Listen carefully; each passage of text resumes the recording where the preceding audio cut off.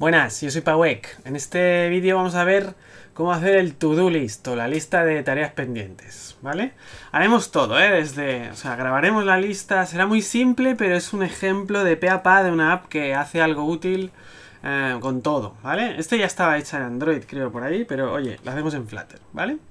De hecho, lo primero es, tengo montado, nada, o sea, he cambiado el, el ejemplo original clásico este a un scaffold con un placeholder aquí para hacer algo, pero lo primero que voy a hacer no es eso, sino que vamos a hacer el modelo. ¿Qué es el modelo? El modelo son los datos que subyacen a la aplicación y necesitamos una lista de, o sea, el to-do este es una lista de tareas y una marca que te permite decir si lo has hecho o no. Y añadido a eso, también el hecho de que una vez has marcado un montón, quieras borrar las que las que ya están marcadas para solo, que solo quede lo que te queda por hacer, digamos, ¿no? Es una lista de, ¿eh? de, cosas por hacer, ya está. Entonces, cada uno de los elementos de la lista tiene, puede estar, o sea, tiene un texto, que es lo que tienes que hacer, y tiene un booleano que indica si está marcado o no. Con lo cual, class to do digo string um, what, ¿eh? que hay que hacer, ¿no? Y bool done, ¿eh? si está hecho o no, ¿vale? Ya está. Digo, venga, entonces cuando construya uno, normalmente necesito que... Esto es típico que sea así. Lo que hago es, me hago un constructor que le paso em, qué es lo que quiero hacer y en principio digo que no está hecho, porque si creo un todo nuevo y la cosa ya está hecha no tiene mucho sentido, ¿vale? Esto lo dejamos así de momento, ¿vale? Ahí está. Y ahora, en la pantalla principal vamos a poner la lista de to-dos, o sea, to-do... Esto es el... Bueno, de hecho, ¿sabéis que me gustaría más? Vamos a extraer de aquí, del scaffold este, vamos a hacer control punto ahí extract widget y le llamaremos to do page. ¿eh? To do list page, vamos a llamarle así. To do list page, ¿vale? Pum. Y nos queda una página. Y esa es la que tiene el scaffold y aquí es donde va a venir la lista. Pero es que esta página tiene... Ahora es un stateless widget, habéis visto que lo he extraído tal y cual y me lo ha creado stateless. Pero yo creo que sea stateful. ¿Cómo hago eso? Me voy aquí, clico en stateless, control punto. Tarda un pelín. Y ahora me dice convert to stateful. Y yo, perfecto y lo pasamos a Stateful Widget, ¿vale? ¿Por qué? Porque la lista de los to-dos está dentro de... es el estado de esta app o del estado de esta página en particular, ¿vale? Entonces, lo primero que voy a hacer aquí es decir list to do de la clase que me acabo de crear, ¿no? Está por aquí arriba. No, ¿dónde se ha quedado? Ah, abajo. Se ha puesto abajo. Bueno, no pasa nada porque en Dart el orden no importa de las clases, ¿no? O sea, todo lo que está en el mismo fichero está en la misma altura. Digo, vale, pues el estado de mi widget de la lista de to-dos es un list to-do, ¿vale? Que no tiene nada ahora mismo, ¿vale? Y de hecho lo que voy a hacer también es, le meteremos el init state, eh, porque aquí, ahora mismo voy a hacer la gran cutrada de poner un par o tres de to-dos que le pondré primero, para que veamos algo, ¿eh? To-do segundo, tercero si queréis, Así vemos algo en la pantalla, pero, pero que no va a ser así. Esto, esto cargaremos eventualmente de un ficherito, ¿no? En JSON, de hecho, lo cargaremos en el formato JSON. Entonces, en el init state hago así. Em, aquí me dice que no estoy utilizando, bueno, no pasa nada. Y ahora en el placeholder digo, no, no, no, no. Aquí va un, eh, muy interesante, un list builder. perdón, listView.builder, así. Y este, o sea, si tenemos mogollón de to-dos de estos oye, iría muy eficiente. No creo que lleguemos a tener 200 de estos, ¿eh? Pero bueno. Pero las listas muy cortas se pueden hacer con list view tal cual y las listas un poco más largas se hacen con list view builder. Bueno, pues ponemos el builder porque total. Y aquí que viene, aquí viene el, mm, o sea, el list view builder tiene item count, o sea, cuántos elementos tenemos, cuántos tenemos, pues to do length, o sea, la cantidad que haya en el modelo. Y luego tiene el builder, que es el que te construye cada elemento, que recibe contexto e índice, así. Es una funcioncita que cada vez que el ListView eh, necesita construir un elemento, eh, te llama la funcioncita y dice, oye, necesito la posición 7, pásamelo. El contexto es este, ¿vale? Y ahí dentro, ¿qué hago? Pues digo, mira, vamos a devolver un liststyle. ¿eh? Ahora para probar vamos a hacer solo el título del liststyle, que es la parte central. Hacemos así, to-dos index. ¿Y cómo era esto? What, ¿eh? Lo que hay que hacer. Paf, ahí. De hecho, no, eso es un string, perdonad. Hay que meterlo en un text. Así. Y eso hará return de esto. De hecho, oye, si solo devuelve una cosa, ¿por qué no ponemos la flechita y nos quedamos tan a gusto? Una coma ahí, así, ¿no? Control Shift T o Shift Alt F, los que estéis en Windows, paf, y te lo intenta, ¿vale? O sea que devuelve un list style, de momento con el texto solamente. Vamos a probar eso porque... A ver, esto era, cambio el page, eh, no tengo que recargar, ¿verdad? O sea que si grabo ya está, ¿o? Eso es, ¿eh? Vale, ya tengo mi lista. Digo, vale, perfecto, me sale la lista, perfecto. ¿Qué más queremos por eso? Quiero más cosas. El list style tiene una cosa muy buena que es el leading que es el icono que sale aquí al principio. Si no pones nada, no lo pone, pero vamos a poner el leading checkbox. Y fijaos que aunque el checkbox se cabrea un poco porque... Uy, dice... No, sí, sí, no, se cabrea bastante, de hecho. Tengo que ponerle qué valor tiene eso. De hecho, lo tenemos muy fácil. El valor del checkbox es si el um, todo está marcado o no. Y eso lo tenemos a mano. Es todo index done. ¿No es eso? A ver. Vale, perfecto. ¿Vale? Y, claro, problema que está en gris porque no está marcado, no puedo marcar ni desmarcar ni nada. Eh, porque le falta, fijaos que aquí sale una rayita ondulada en amarillo que dice, oye, el parámetro onChanged es requerido, no lo estás poniendo. Digo, vale, vale, espérate, hacemos onChanged, ¿vale? Y de hecho aquí lo tenemos muy fácil porque el onChanged recibe el valor booleano que es la marca, o sea que le voy a poner checked aquí. El onChange te dice, mira, el tío acaba de marcarlo, o lo acaba de desmarcar. Si lo vuelves a clicar, si clicas un checkbox que está marcado, lo desmarca él. Y aquí él te dice cómo ha quedado. Yo digo, ah, bueno, perfecto. Y fijaos lo que vamos a hacer aquí, que es súper tonto, ¿eh? Voy a ir y cambio el estado, y estoy en un estado, ¿no? Estoy en el state del to-do list page, y digo, no, set state, o sea, cambio el estado. Y ahí dentro digo, vale, mm, pues ¿en qué todo estamos? Todos index, estamos, estamos en este y hay que poner que, que esté hecho es lo mismo que el marcado que me pasan. O sea, aquí me dicen cómo está el checkbox al final del evento, es decir, cuando lo he tocado, cómo ha quedado. Bueno, eso es lo mismo que quiero yo grabar en el todo, ¿no? O sea, le digo, ¿está hecho o no? Bueno, igual que haya quedado la marca de la lista, tienes que ponerlo tú. Y ahora grabo ahí, habéis visto que ha pasado a un gris más fuerte y si hago y se marca además yo sé, y fijaos, esto es muy importante, ¿eh? De Flutter, me gusta mucho porque cuando hacíamos esto en Android no iba así. Que es que tú lo marcas y fijaos que el hecho de que se vea en la pantalla marcado depende directamente porque el value este lo coge del modelo. ¿eh? El modelo es nuestra listita, ¿vale? Y el modelo es como el sancta sanctorum de los datos. Es decir, esos son nuestros datos originales. ¿vale? De, todo, de, esos datos debe salir lo que pintamos en la pantalla. Porque eso es lo que vamos a grabar luego. Si nos hacemos un lío con eso, la, cagamos, ¿no? Entonces, el value del checkbox proviene directamente de, si el check, del si el todo está marcado. Con lo cual, cuando yo marco aquí, yo sé que el modelo lo está reflejando. Eso es muy bueno, ¿eh? ¿Vale? De hecho, vamos a hacer una tontería muy buena que hace mucha gente, que es que le vamos a meter un decoration al texto. No, direction no. ¿Cómo era? No, style. No, no, no. Uh, ah, no, claro, sí, puede estar aquí dentro, ¿no? ¿Verdad? Sí, el decoration está dentro del textile. Y el decoration del texto admite una muy buena, que es que esté, que esté tachado. Es decoration, es este de aquí, el... No. No text decoration, es text decoration normal. Punto. Decoration no, tío. Yo estoy fatal. Ahí. ¿Eh? ¿Veis? El, hay el line through, overline, underline, o sea, subrayado, ¿no? El line through es el que tacha, ¿sí? Entonces, meto eso ahí y si lo pongo siempre, siempre sale tachado. Yo lo que quiero es tachar solo los que están marcados. O sea, que ahora esto debería cambiar y tal. ¿Cómo lo hago? Muy fácil. Digo, mira, aquí pongo todos index done, pregunto si está done, hacemos line through. Si no, text decoration. Ese es un operador ternario de este clásico. Decoration none. ¿eh? Hay uno que es none, que es ninguno. ¿Vale? De hecho, si hago control shift T, sí, lo bajo para abajo que queda mejor, ¿verdad?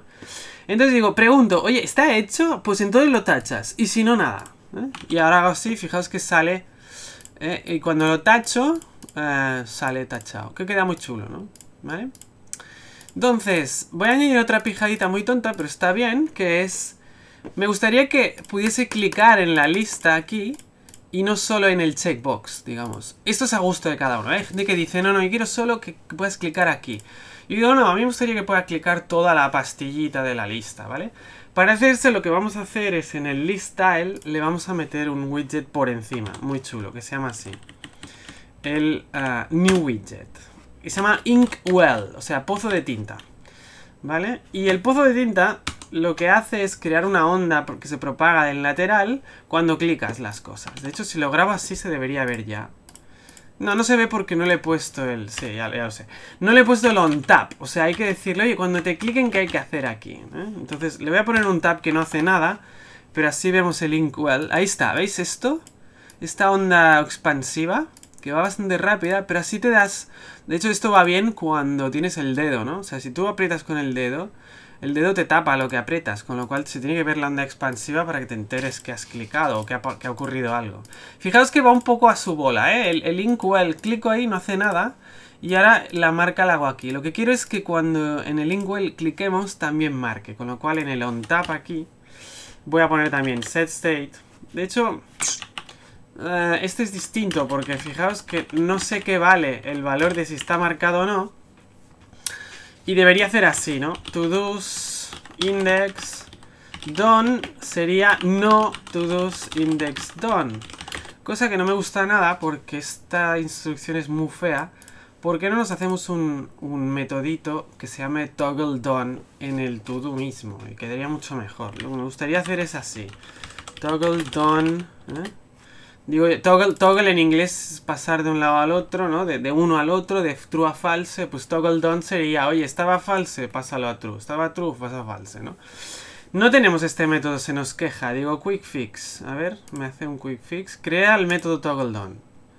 Uf, qué desastre. ¿Dónde lo ha puesto? Ah, no, en el to do. Ah, no está mal. Pero me ha metido el to do aquí dentro. Qué desastre, ¿no? A ver, espera, espera. Ah, no, no, está bien hecho, está bien hecho. Lo ha metido ahí, pero ha hecho una indentación muy rara. No sé por qué, es un fallo suyo. Pero el toggle done es void, es verdad. Y lo que hace es, como es solo una instrucción, hace done es igual a not done. Ahí ya está. Así. Y ahora, como ya lo tengo hecho... Oye, en realidad no me gusta que esté el to tan abajo, ¿eh? Casi lo preferiría más arriba. Debería entrar... Deberías empezar con esto, ¿no? Mejor. Venga, va. Así. Y ahora, ¿dónde estaba aquí? ¿Eh? Entonces, cuando clico en la lista, no sé cómo estaba el to-do, pero me da igual, le hago toggle done y también va. O sea que ahora, fijaos que puedo clicar en cualquier lado y me sirve igual. Si, chequeo la... Si chequeo el checkbox no se ve la onda expansiva. Pero si, si chequeo por ahí sí que se ve. Bueno, está bien, ¿no? ¿Vale? ¿Vale? Un poco pijadita, pero está bien. y yo sé que esto está alterando el modelo por debajo. Vale, perfecto. ¿Qué más vamos a hacer? Claro, yo quiero añadir to-dos, ¿no? O sea, debería haber un botón aquí abajo que sea un más. ¿Esto dónde lo meteremos? En la página To-Do List Page tenemos el scaffold y el scaffold tiene, está aquí, tiene el Floating Action Button. Y digo, vale, pues metemos uno, Floating Action Button. Y entonces el Floating Action Button tiene varias cosas. El On Press tiene el Child, que es que le vamos a meter como cosa. Entonces le voy a meter ahí un icono y le metemos icons add, que es el clásico de la suma. Digo, bueno, de la, sí, de un más, un más. Y cuando lo apretemos, de momento no hacemos nada aún, pero fijaos que aparece ahí y ya lo puedo clicar. Digo, vale, ¿qué hay que hacer aquí? lo que haremos es, nos vamos a hacer una pantalla nueva y cuando cliques ahí vas a la pantalla nueva, escribes lo, el to-do que querías y ya está. Eso es una manera de hacerlo, hay más, ¿eh? Hay maneras más pijas de hacer esto, pero vamos a ir a lo que un poco hemos tocado hasta ahora y, y ya está, ¿vale? ¿Cómo me hago una pantalla nueva? Bueno, muy fácil. Me hago un stateful widget. ¿Por qué quiero stateful? Porque vas a poner una caja de texto y dentro de la caja de texto va a haber un text editing controller, entonces necesito un stateful widget, ¿vale? Entonces eso será el new to do page, ¿no? Tabulador, digo, esto necesita un scaffold. Más adelante veremos cómo hacer pantallas más pequeñitas, que sean modales, etcétera, pero ahora, oye, está bien así, ¿no? Y digo, le ponemos aquí un bar porque, oye, no cuesta nada. bar, digo, title. App, ay, bar, el bar ya lo tengo. Aquí, new to do, dos, tres puntillos, hasta que no te decidas no hace nada. Y en el body vamos a poner, primero, centrado. Em, perdón, un, de hecho, centrado, mentira. Va a ser un padding, ¿eh? Que lo añadiré después, mira, lo pondremos luego con el control punto, ya está, es igual. Column. Main axis alignment, que esté... Ah, main axis alignment... No, main axis size no. Main axis este.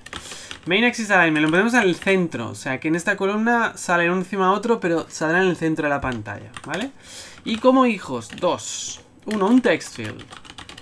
De momento dejo así. Luego un raised button, que es el de guardar, digamos, ¿vale? Y este tendrá un child que pone text. Em, guardar, ¿no? Bueno, uh, añade, ¿no? Añade. Y en el onPress no sé qué hay de momento, pero luego lo hacemos, no pasa nada. Y en el text field, lo que os decía es, en el estado nos vamos a hacer un text editing controller, controller, no tiene nada. Y aquí había que hacer dos cosas. Init state y inicializar ahí, a ver qué me ha hecho ahora. Aquí, esto. Y aquí controller, text editing controller. Eso es. Vacío, porque esto es nuevo y tal. Y luego en el dispose... Ups, This... Ah, es que tarda un pelín el chaval. Está, trabajando mucho esto. Sí, no sé por qué hay tanta CPU. Bueno, el OBS, o sea, el, el, que graba la pantalla creo que gasta un poco, pero bueno. Y aquí en el controller hacemos así dispose, ¿vale? Esto es para que se, se eliminen las cosas que... Es decir, eso se llama cuando el widget se, se, tira a la basura, por decirlo así, y yo tengo que ir al controlador y decirle lo mismo, porque hay cosas que hacer. Esto yo sigo normas que he visto por ahí y no, he entrado a los detalles de por qué es eso, pero, pero es bueno hacerlo y lo recomiendan, con lo cual yo sigo.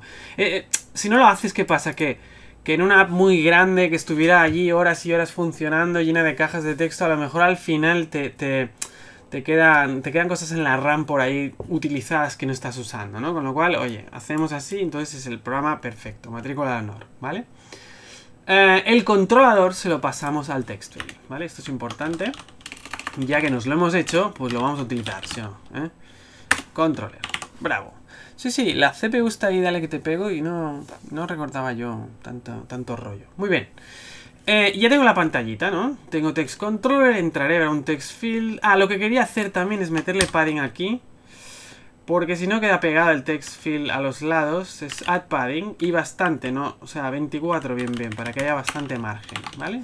Así. Vamos a probarla esta pantalla. ¿Cómo la llamo? ¿Cómo iba esto? Era, me voy, este es el floating action button. Cuando clico aquí, digo, ¿qué hay que hacer? Me pide el navigator. Navigator of context. Me busco el navigator en el contexto. Y ahora digo push.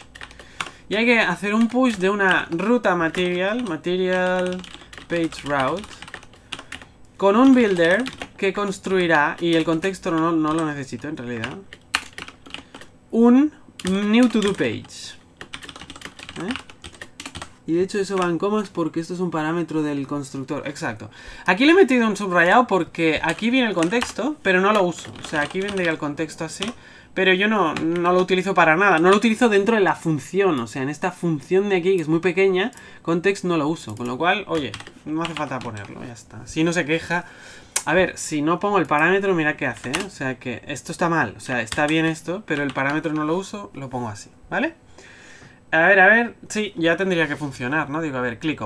Plasca. Salimos. Mira, sale aquí, ¿eh? Sale el todo, ¿vale? Digo, voy a escribir algo, chiquichaca. De hecho, ¿puedo escribir con el teclado mío? Ah. Ah, la mierda. ¿Puedo escribir con el teclado? Sí, es que el otro día me hacía tonterías el teclado. No sé por qué, me escribía caracteres raros. Vale, va bien.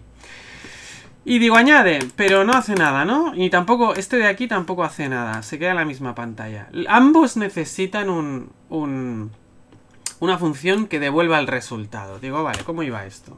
De hecho, en el text field haremos el onSubmit, onSubmitted, que es este de... Eh, de hecho, es el what, le llamaremos. What era el texto este, ¿eh? que hay que hacer, ¿no? What to do. Y en el submitted se llama cuando apretas el botón verde este, ¿vale? Entonces, en el raise button, tanto en el raise button como en este, tenemos que hacer en los dos algo parecido, que es llamar al navegador, navigator, of, hola, navigator, lo ponemos nosotros. Of context pop. Y en el, en el, en el del onSubmitted tenemos el texto ya. ¿eh? O sea que le meto el texto y ya está. En el otro no lo tenemos, pero no pasa nada. Para eso nos hemos hecho el controlador. Digo navigator of context pop y ahí digo controller text. ¿Vale? Entonces, claro, en el botón no tengo el texto, pero es igual, me voy al controlador y se lo pido. O sea que, eh, veis que es la misma cosa, pero en un caso ya tengo el texto y en el otro no. En realidad, aquí también podrías poner, ¿eh? Controller, text, y quedarían los dos igual, cosa que me lleva a, pensar que podríamos... Hacemos un método... Es igual. Podríamos hacer un método. Pero mira, ¿sabes qué? Vamos a dejarlo así, porque así se ve clara la diferencia. Se podría hacer un metodito muy cortito que hace esto de aquí. Pero, oye, es una línea, no pasa nada, ¿sí?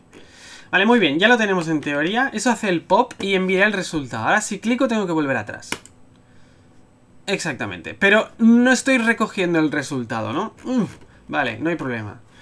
¿Cómo se hacía esto? En el push se devuelve un future con el resultado y yo lo que hacía con el future es decirle, oye, cuando te devuelvan el resultado, eh, me lo recoges, me lo pasas en una función y yo ya haré lo que me dé la gana a mí.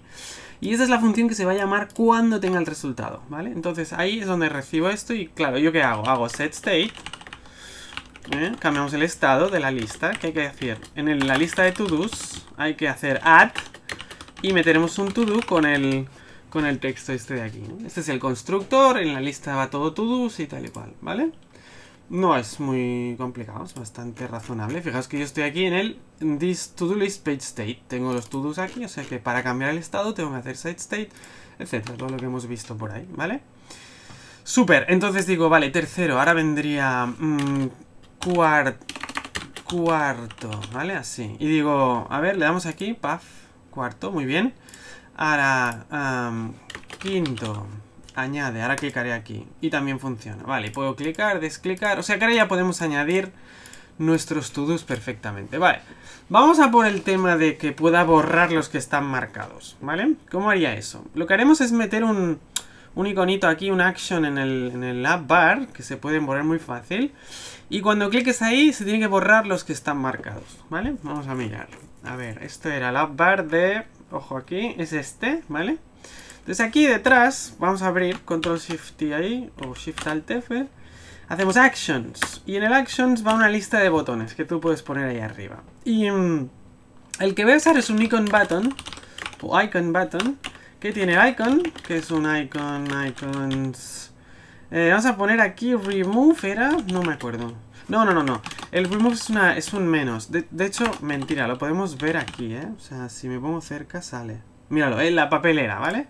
La papelera está chula. Y ahora aquí on pressed, ¿eh? También igual.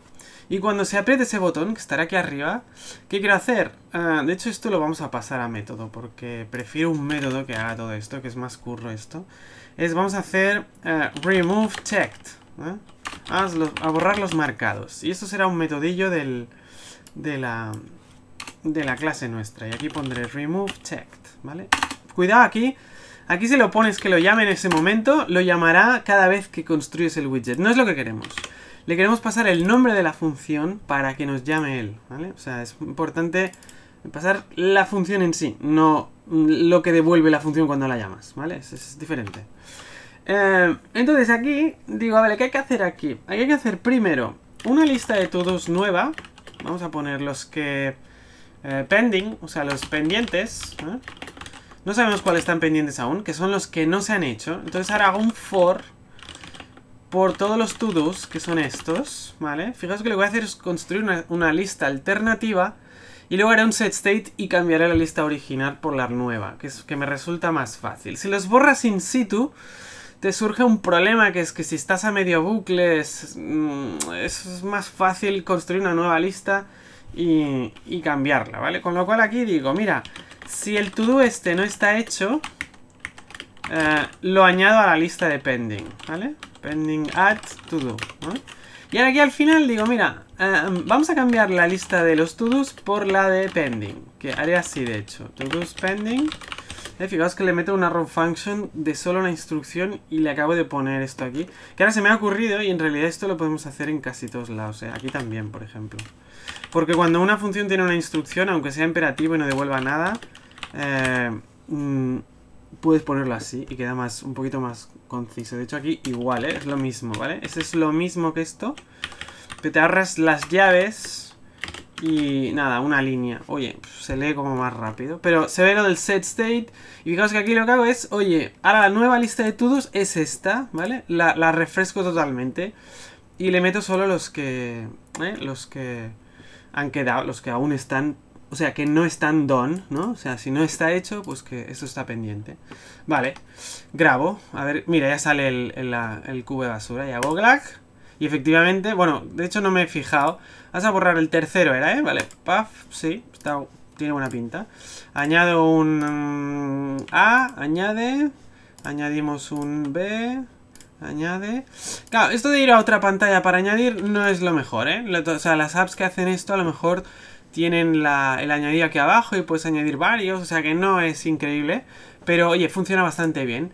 El problema que le veo ahora mismo es que, em, claro, cuando borras, borra lo bestia. Si te has equivocado dices, hombre, pero no, o sea, no te ha pedido confirmación ni nada, si se, te escapa el dedo, puff. Entonces, una cosa que podríamos hacer, ya la última, ¿cuánto llevamos? 25, bueno, Está bien.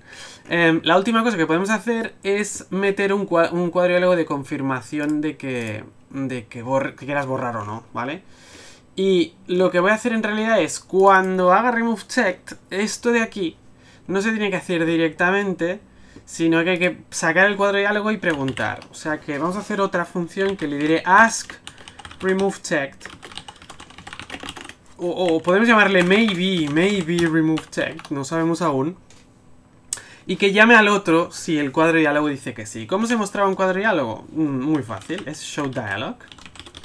Y en el show dialog viene dentro dos cosas. Ah, de hecho, mm, esto no lo podemos hacer aquí, ahora pensando, porque necesitamos el contexto. A ver... Vale, vamos a hacer una cosa interesante. Que os enseño que os hará gracia, que es... Voy a meter la función esta aquí. ¿Por qué lo hago así?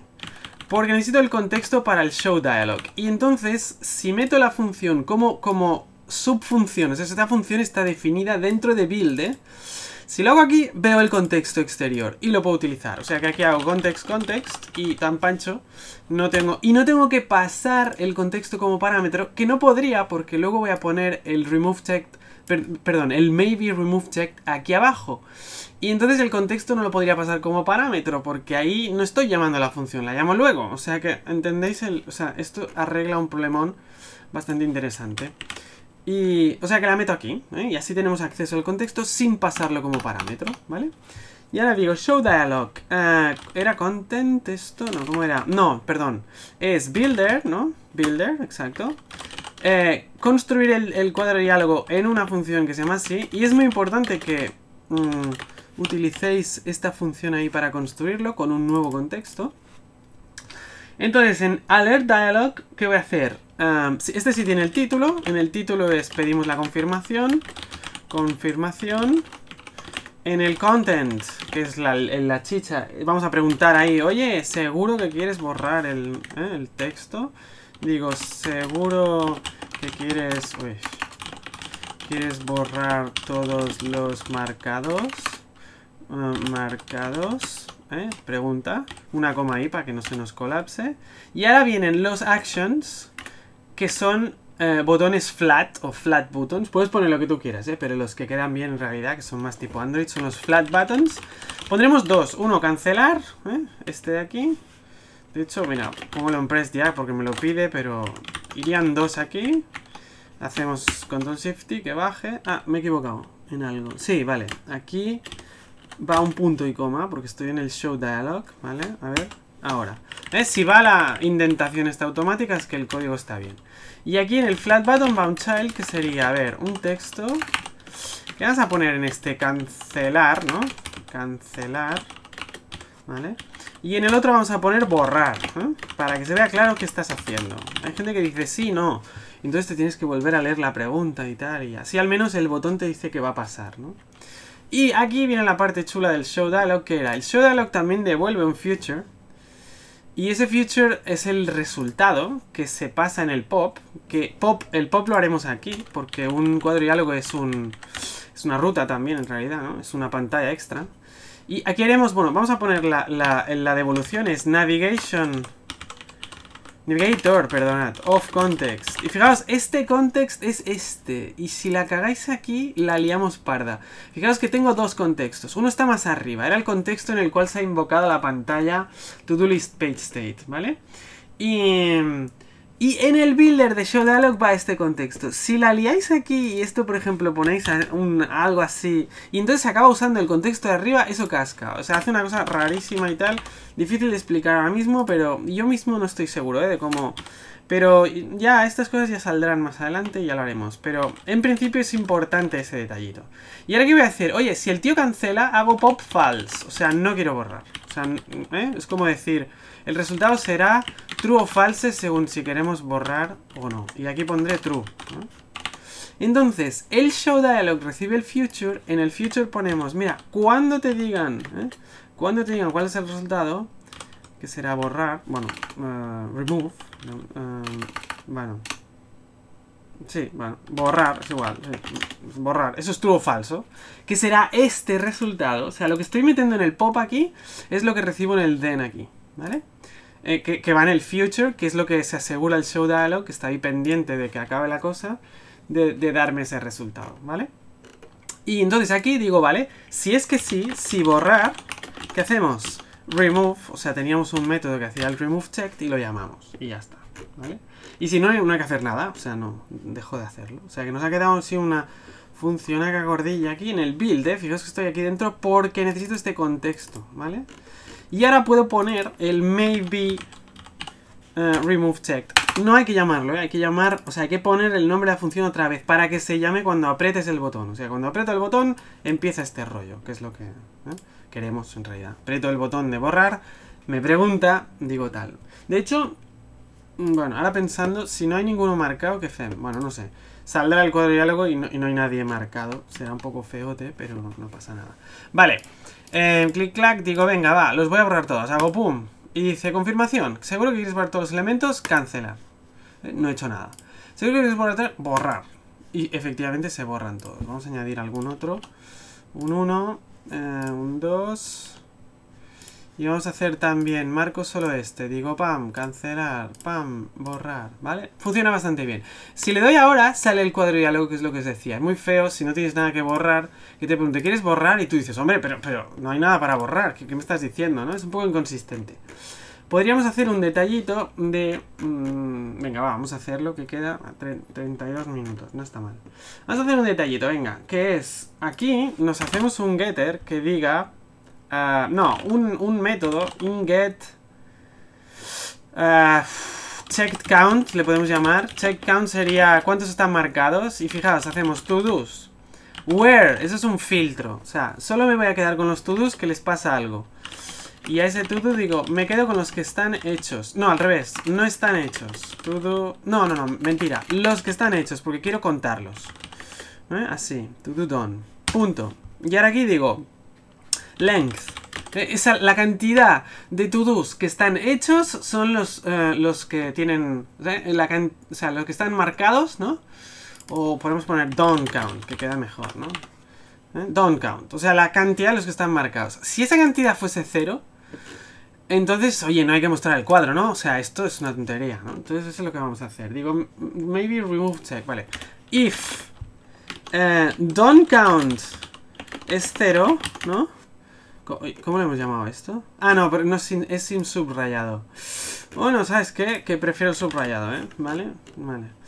If don't count is cero, return. No hay que hacer nada. Digo, ya está. A ver, vamos a... ¿eh? Eso, clico y el tío pasa de mí, ¿no? Está bien, no, hay... O sea, mm, mm, es lo que toca. O sea, no hay nadie marcado. En cambio, si hay marcados, digo, oye, ¿estás seguro que quieres borrar? Digo, sí, paf, ya está.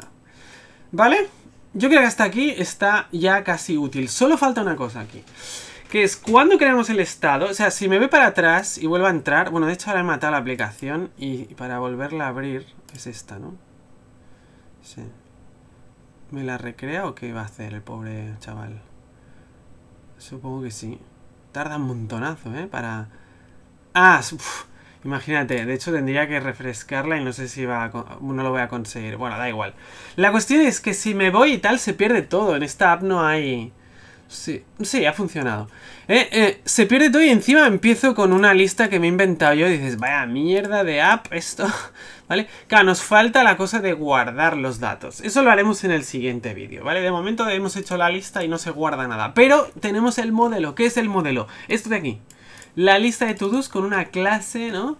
Que ¿eh? ahí tengo los datos puros. Lo que veo en la pantalla es eso, o sea, está marcado o no y, los textos y en qué orden está. Eso quisiera guardarlo yo en un fichero, lo grabamos en JSON em, y, recuperarlo también. Y tenemos que ver dónde se hace eso y todo el rollo, ¿vale? Pero de momento queda la lista hecha bastante chula, ¿vale?